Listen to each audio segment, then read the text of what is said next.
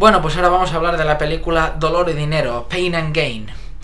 Bueno, eh, tenemos que reconocer que Michael Bay ha hecho una peliculita eh, distinta, ¿no? Ya se ha salido del marco de Transformers, ¿no? Porque bueno, yo lo digo claramente, como habréis podido apreciar en mis reviews de Transformers, pues no me parece muy bien lo que el caballero estaba haciendo. Ya es que es un despeporre, pero bueno, que 2014 va a estar con otra de Transformers que se ve que va a cambiar de trama y de personajes y de hostia, bueno. Él solo lo que hace, le da dinero, ¿no? O sea, el tío no es tonto. Pero bueno, que lo de Transformers 2 ya me pareció denigrante total. Y bueno, pero claro, eh, tristemente, podríamos decirlo así, que, mi venir que se lo ha buscado. Eh, un poco cazurro también, ¿no? Sería quejarse, quejarse de eso, pero bueno.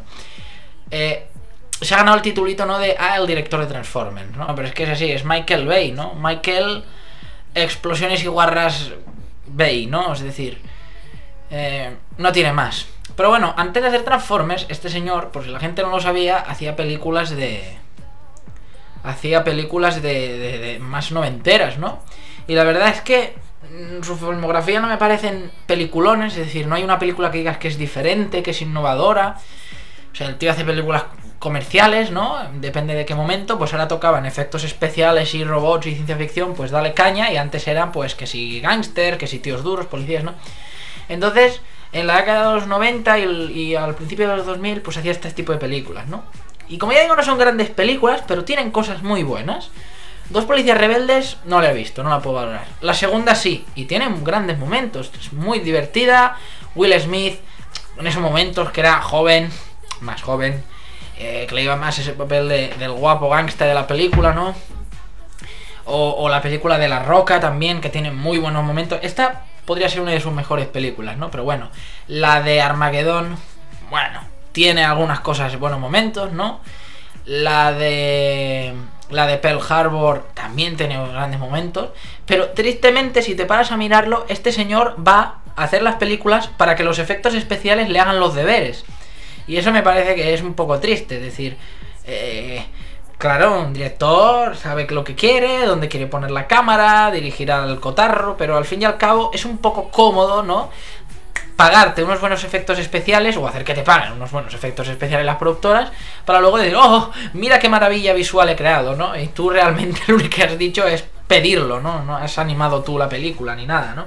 Entonces, bueno, es eso que tendrá su alguna línea de guion graciosa y tal, vale, pero a mí no me parece un director deslumbrante de la hostia, ¿no? O sea, a mí me parece que es un lumbreras y que tira de, lo, de lo blockbuster y de lo comercial y es eso, el señor blockbuster y no tiene más. O sea que no me mata. Malas películas no ha hecho siempre, pero bueno, que transforme me parece vergonzoso, en mi opinión. La primera se salvaba un poco, en algunas cosas. Pero ya siguiendo, ya no le veo ni el sentido. Entonces, ahora de repente ha hecho Dolor y Dinero, volviendo a estas películas de antes, ¿no? Digamos, volviendo a hacer estas películas más noventeras. Lo cual me parece muy bien. Porque Dolor y Dinero me ha parecido pues una de sus mejores películas, la verdad. Junto con La Roca, junto con estas, ¿no? O sea... Eh, y a mí me gusta más este estilo, en vez de tirar de efectos especiales y, blockbuster de la hostia, coño, y hacer algo que, que, exprime un poquito más por el guion, por los diálogos, por las situaciones, por lo que, lo que le haces tú dar a los actores, es decir, vamos, en mi humilde opinión, pero bueno, como la gente sigue prefiriendo cegar por los efectos especiales, pues ala, tragaos la mierda que os dan, de verdad. es que ni me dirijáis la mirada porque no pienso ya discutirlo más. Por lo tanto, ha vuelto a hacer este cine un poco más de antes. Y bueno, ha cogido a Mark Wahlberg, a Dwayne The Rock Johnson, ¿no? The Rock. Y, y, otras caras conocidas como Ed Harris o Tony Shalhoub y, bueno, ha hecho una película de ese estilo, ¿no? En plan gangsta y tal. Y bueno, ha cogido la historia real de tres capullos de mierda que eran culturistas, ¿no? De estos en plan vigoréxico. Que cogieron y eran tres cazurros de mierda. Salvo el, digamos, el, el, que hace más Wahlberg, ¿no? Que era como el líder. Que era más listo, pero era manipulador, ¿no? Era, era un tío muy observador, muy cabrón. Y bueno, que agarraron a un tío que tenía dinero lo torturaron, lo interrogaron para que les transfiriera de manera legal, eh, lo hicieron ilegal lo de torturarle, pero bueno, mediante papeleo, le transfirieran su fortuna, ¿no? Y quedárselo todo ellos. Y empezaron, vamos, a vivir a lo grande, los cabrones, hasta que les pillaron. Pero bueno, a ver, aquí ya entra un poco que Michael Bay luego se inventará las cosas y exagerará esto y exagerará lo otro y una cosa será verdad y una cosa será mentira, ¿no? Y la verdad es que edulcora bastante la versión original, es decir, la hace más ligerita, no la hace tan seca, no la hace tan bestia. Pero esto no es un error en mi opinión, porque lo que intenta hacer con la película es hacer una sátira, hacer una burla, hacer una caricatura de los personajes, de la situación, del espíritu, ese noventero, ochentero, American Way of Life, el sueño americano, ¿no? O sea, eso está súper bien. Y... y, y, le ha salido una película divertida, con buenas escenas de acción y de diálogo. Bueno, y bueno, la dirección de actores de, Mark Wahlberg, de, The Rock, de eh, Anthony Mackie, el negro, ¿no? Muy buenas los papeles que les han dado y cómo los han hecho, ¿no? Este trío de tontos. Es decir, eran tres idiotas creyéndose listos, ¿no? Muy bueno. Pero, a ver, aquí lo han satirizado, lo han exagerado, han hecho tonterías con la película. A mí me parece verdaderamente acertado, ¿no? Es decir, si hubieras cogido la historia real, ¿qué gracia hubiera tenido? Hubiera sido una película más de robos, de crimen, de tal, o sea... Yo creo que está bien darle un, toco, un toquecillo de pimienta negra, ¿no? De, de, de, picorcillo, ¿no? De darle un poco de vidilla a la historia, ¿no? Que ya de por sí podría ser entretenida, pero en vez de dejarlo, como ya digo, una más, una película más, dar tu toque especial. Y esto es lo que ha hecho Michael Bale, que a él le gustan mucho los personajes idiotas y, las tonterías, ya se puede ver en, en, las películas anteriores, Transformers y las otras.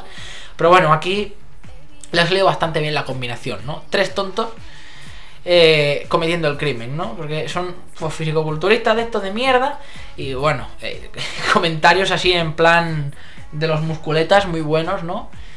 Eh, y bueno, secuestran a un pavo que, que tiene dinero, no es mi multimillonarísimo de estos, pero tiene dinero. Y, y sí, ellos vivían de gimnasio en gimnasio, alguno ya había estado en la cárcel, pero bueno, lo secuestran, le dan bien duro y se quedan con la pasta, ¿no? Y el otro intentará buscar venganza y contrata a un detective privado, que es Ed Harris, ¿no? Eh, eh, lo contrata el, el Hope este.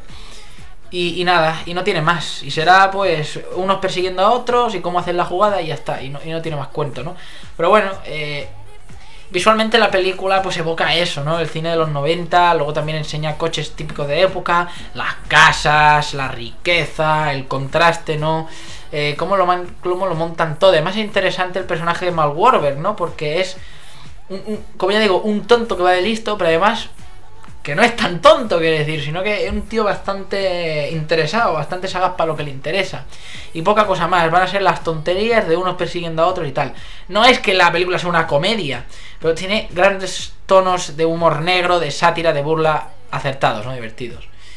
Claro que hay cosas que me parecen eh, polleces, ¿no? Que son ridículas, como la, la, la, gordita que está con el, con el negro, en plan, oh, es gracioso porque está gorda, o sea, eso es muy infantil, es muy tonto, es muy de niño pequeño, muy de antes.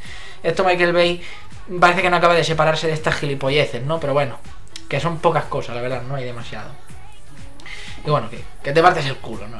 La película divertida, tiene, tiene unos momentos muy cojonudos y yo la recomiendo mucho, es una de las películas que más me ha gustado de Michael Bay, atípica en su filmografía en cierto sentido, ¿no?